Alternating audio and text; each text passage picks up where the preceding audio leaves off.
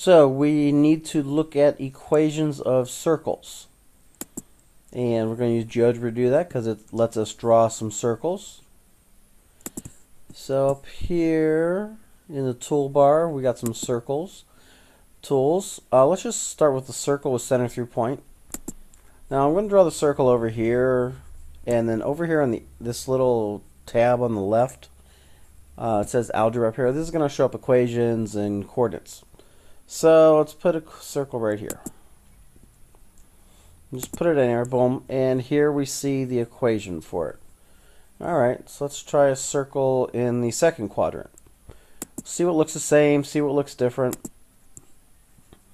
Alright, so we got, uh, you know, something there. Let's go third quadrant. Fourth quadrant.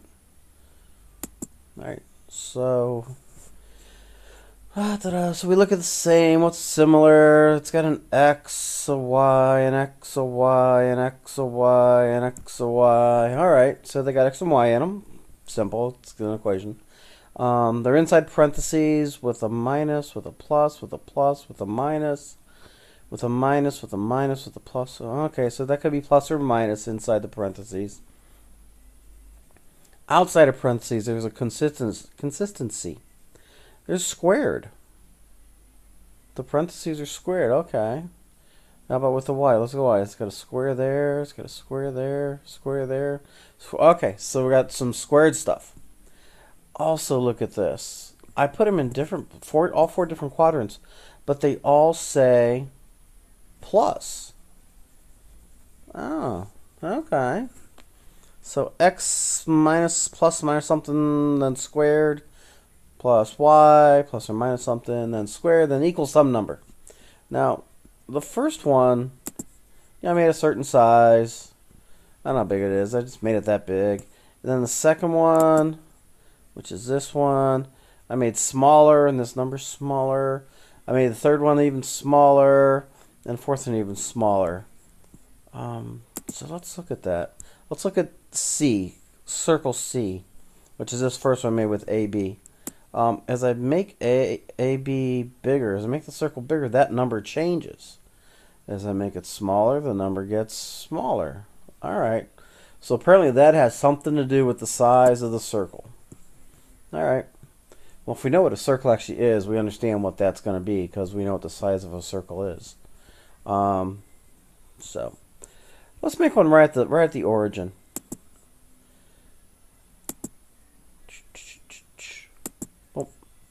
So we look over here. It says x squared plus y squared equals 4. Well, I made this circle 2 in size, radius 2. Circle is defined by a radius. x squared plus y squared. We already knew that from up here because it said, you know, x plus or minus something squared, y plus or minus something squared. Uh, okay. Um, then the 4. I made it 2. It was 4. What if I make it 3? Let's try another one. Uh, let's make it size 3. Boom. Let's look over here on the side. It says 9. Let's make it size 4. I don't know.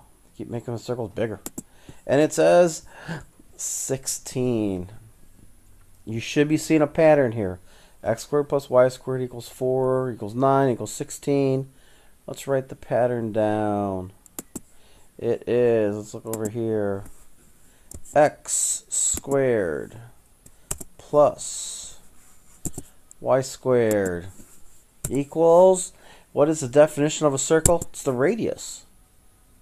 So that right side is the radius squared.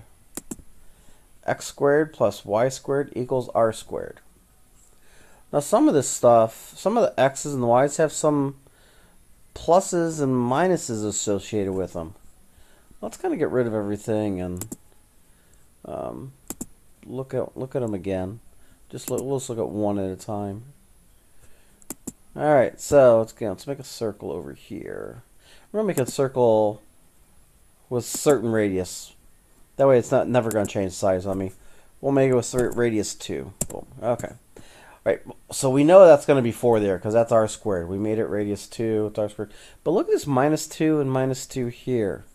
Does it have to do with the size of the circle or where the circle is? let's move it. Uh, move it over here to 3, 2. I'm going to move point A to 3, 2. Look, A right here, 3, 2. Look here, 3, 2. Let's try it again. Let's go up to here. I moved A to 4, 3. Look at what it says in the equation. 4, 3. Let's come over here. Let's move A to negative 5 and 3. And this says plus 5 and minus 3. Uh, so apparently that has something to do with the center of the circle. Now it says plus 5 and plus 1. Oh, wow. Remember we could say that that can be pluses or minuses? So apparently this thing with the x and with the y is telling us where the center of the circle is. So let's put it over here. I put it at 3, negative 1. Look, I put A, the center of the circle, at 3, negative 1.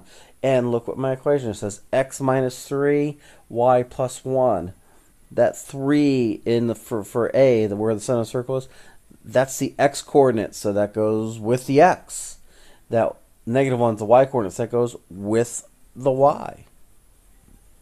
Alright, so that's telling me where the center of the circle is.